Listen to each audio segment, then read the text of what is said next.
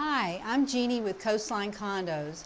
I'm here in Destin at one of the condos that we manage at Majestic Sun. And I wanted to share with you the view from the balcony. It is quite gorgeous. And I'm just going to pan over and let y'all take a look at that.